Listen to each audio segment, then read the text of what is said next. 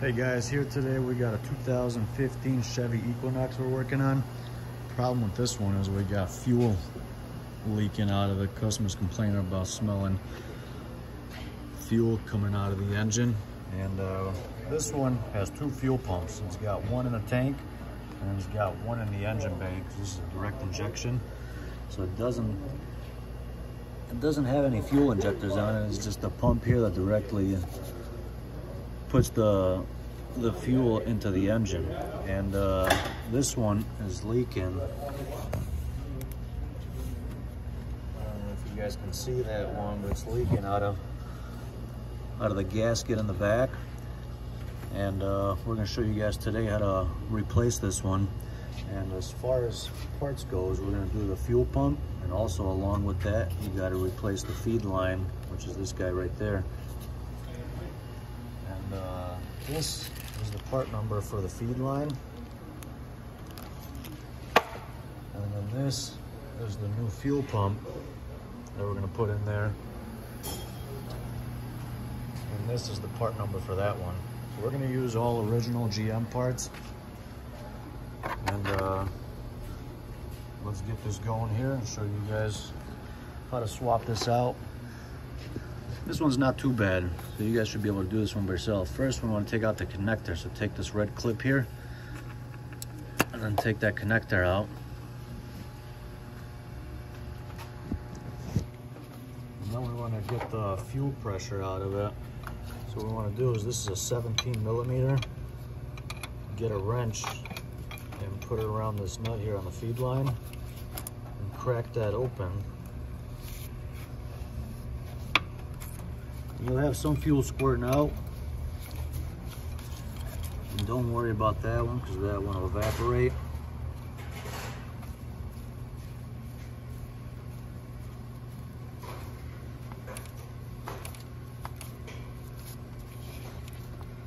And you can see the fuel squirting out of that one.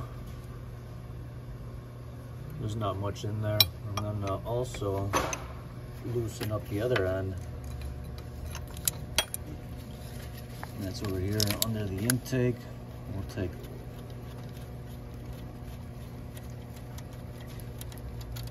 take that out. And then take this out on the top. And we'll just put this to the side right now. High pressure pump. Leaking, got a code? Now take out this clip over here to get the other line out. This one pry in the back, pull that out. And put that to the side for now. And then you got your fuel line disconnect tool. You want to stick inside here.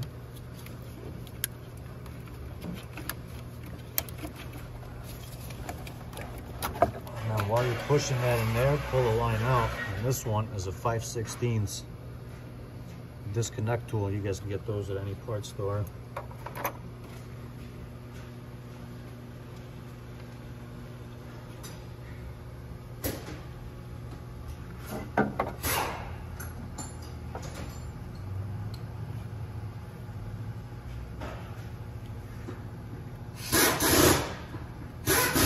now to get the pump out, you got two 10 millimeter bolts that hold it in place.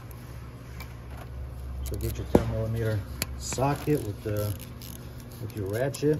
And these, when we take them out, you want to take them out slowly, one at a time. A little on the left side, a little on the right, because that has a spring in the back of it. And uh, if you take out just one side, it's going to pop that you. When you pull it out. So just uh, little by little, one side at a time. And then once you got those bolts loosened up a little bit, just pry back on there one to get the get the spring loosened up.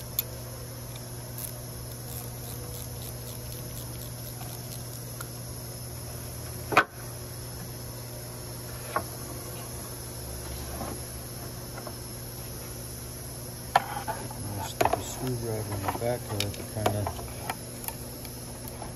get it loosened up.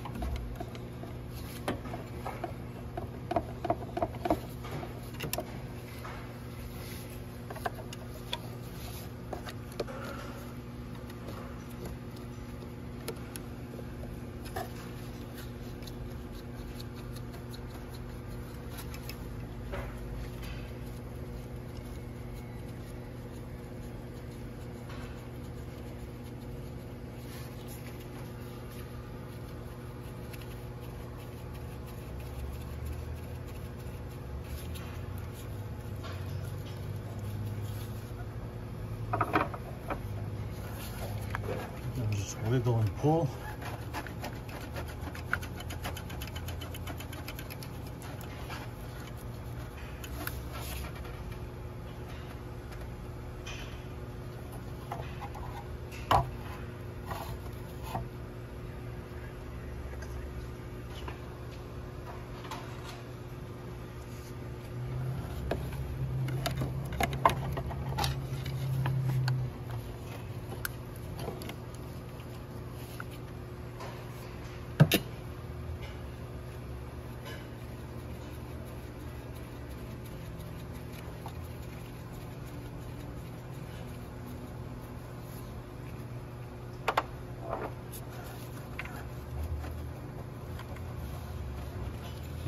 Take these bolts all the way out, the ones we got it wiggling around.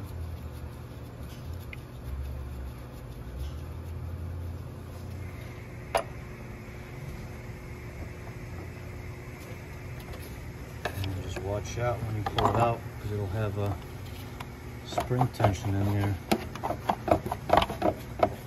And it'll just pop out.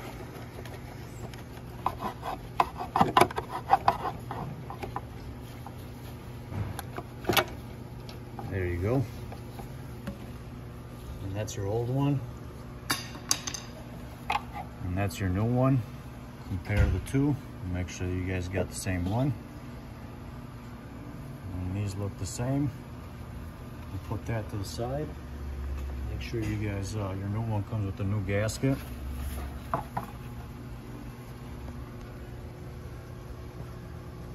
before you guys put the new one in there, just wipe this off. Make sure you clean up the, uh, the spot here so the new gasket seals on there properly. You don't want that leaking again.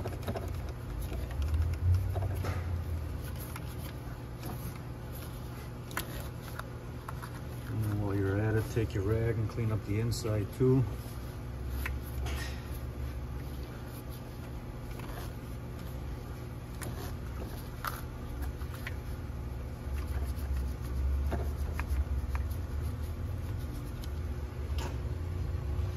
Now we're gonna take a brake clean spray it. Just to make sure it's completely clean and doesn't have any oil residue.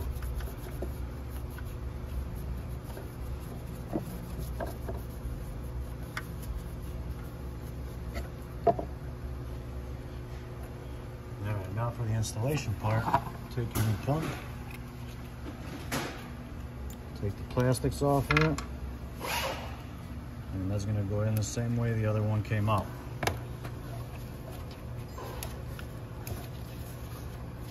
Make sure you guys line up the holes for the bolts and start them up by hand. That way we don't cross thread them.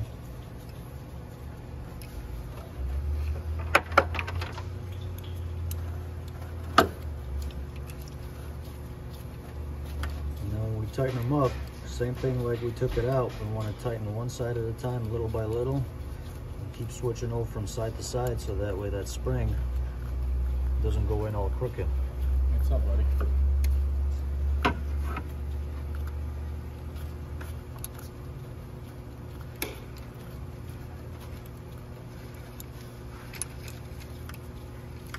Alright, so just keep going back and forth, back and forth.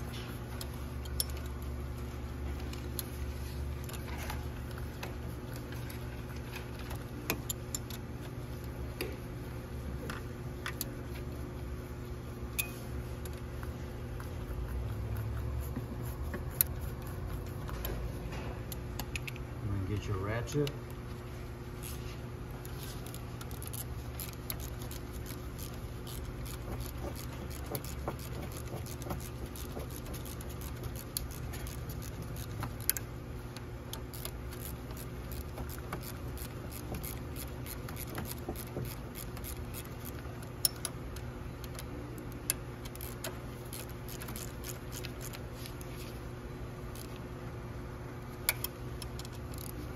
Tighten those both those bolts up. You don't have to go too crazy with them. And then we'll hook up this line to the left. And this one's just gonna clip in there. So when you when it goes into place, you'll hear it click. And you just pull it back, make sure that it's in place. And then we'll put our lock back on it. That way it doesn't fall out of place. And then Um,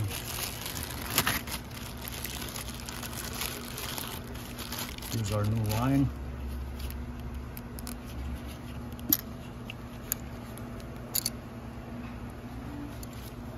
And this one, compare it to the old one and see which way that it goes.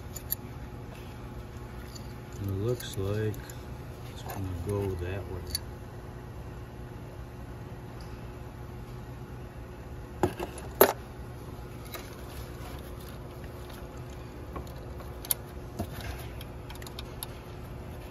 So start one of them off by hand, and then uh, start the other one by hand, and slowly tighten them up.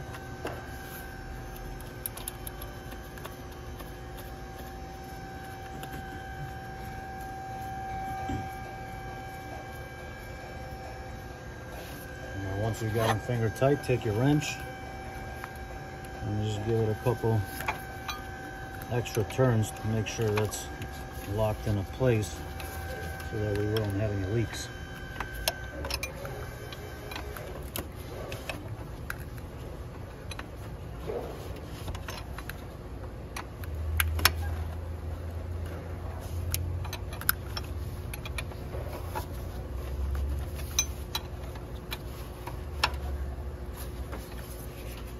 Last but not least, don't forget your connector plug that back into place then start it up. Make sure you have no leaks and that's the end of the story.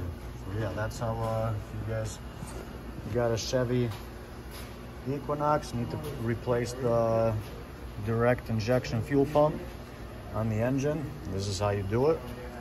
Hope this video helps you guys out. Thank you for watching. Good luck